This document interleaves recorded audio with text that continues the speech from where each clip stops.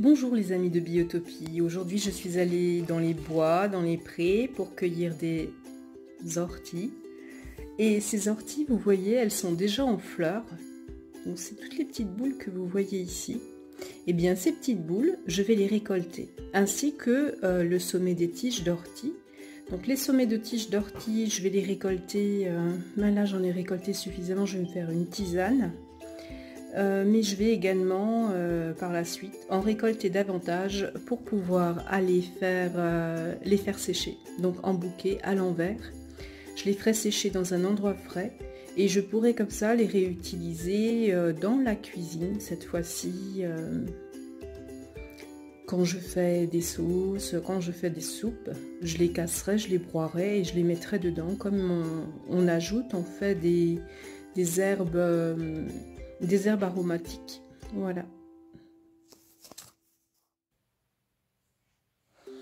Donc euh, j'enlève simplement euh, les petites graines qu'il y a là et euh, je vais les mettre sur un plateau pour les faire sécher. Vous voyez ici j'ai préparé un plateau.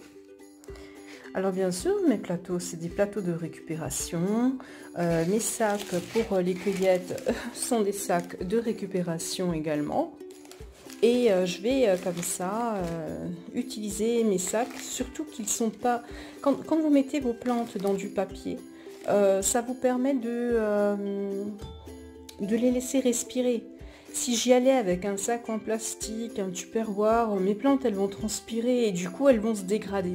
Donc j'ai tout intérêt à utiliser des papiers intérêt à utiliser euh, des sacs en tissu ou euh, j'utilise euh, des, comment est-ce qu'on appelle ça les emballages les emballages de biscuits pour pouvoir récolter les plantes. Donc là je mets mes graines sur le plateau je les étale je vais les faire sécher hein, surtout pas en plein soleil. Je vais les faire sécher dans un endroit frais dans un endroit un peu euh, ombragé. Et quand elles seront bien sèches, je vais retirer les petites, euh, les petites branches. Et je vais garder les graines dans un bocal en verre fermé. Ces graines, je les, utiliserai pendant l'hiver pour agrémenter euh, les salades, les desserts, etc. Voilà, tout simplement parce qu'elles contiennent beaucoup d'oligo-éléments et elles vont booster enfin mon système immunitaire. Chose importante à savoir à propos des orties, c'est que les poils urticants de l'ortie se trouvent sur le dessus de la feuille, mais pas sur le dessous de la feuille. Donc vous pouvez aussi, par exemple, lorsque vous êtes en forêt, que vous avez un peu faim, un peu soif, prendre une feuille d'ortie la plier.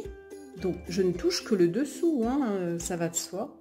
En fait, je vais cacher toute la partie euh, supérieure de l'ortie pour la plier et la rouler de façon à ce que euh, tout ce qui est urticant soit à l'intérieur. Ensuite, je vais pouvoir manger ma feuille d'ortie et apprécier en fait le goût euh, vraiment particulier de l'ortie. C'est un goût de chlorophylle vraiment très très fort et délicieux. Donc il va falloir que je la broie avec mes dents hein, illico pour, ne pas me piquer, qu'elle ne se déplie pas dans ma bouche. Et voilà, et je me suis pas fait piquer. Mais j'apprécie le goût euh, très fort en chlorophylle.